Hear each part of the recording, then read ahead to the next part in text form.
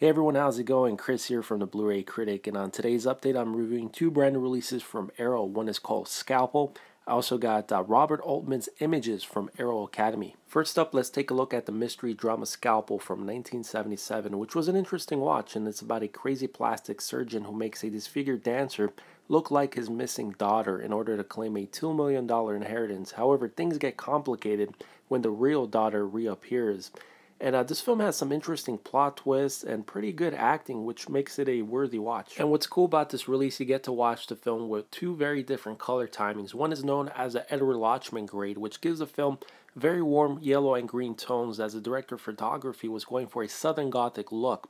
And the second one is known as the Arrow Grade, which is presented in a more traditional color palette as you would come to expect from movies. But they're both unique in its own way, so it's cool you have the option to check it out, you know, in both ways. As far as the presentation, the picture looked great, and by the way, this was given a brand new 2K restoration, which was supervised and approved by the director of photography, Edward Lachman.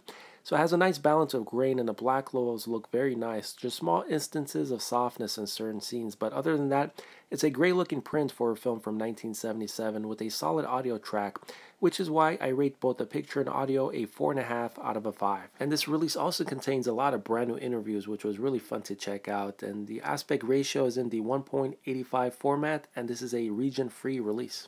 And the next film is Images from 1972, which is directed by Robert Altman, who directed a lot of great films like Nashville, also Shortcuts, The Player with uh, Tim Robbins, as well as Popeye with uh, Robin Williams. And Images happens to be one of his lesser known films, and it's a psychological horror.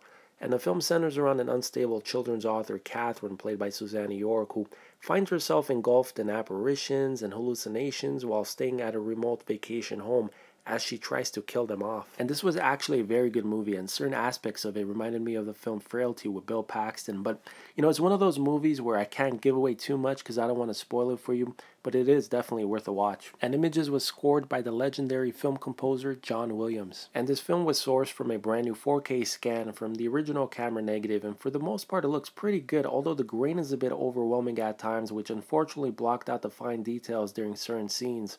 But Black Lows looked good as it suited the mood and feel very well for a movie from the early 70s. So my rating for the picture and audio is a 4 out of a 5 for both, but it's a very low 4 for the picture, almost a 3.5 really. And for features, you get a couple audio commentary tracks, plus Imagining Images, which is an archive featurette with Altman and the cinematographer, plus much more.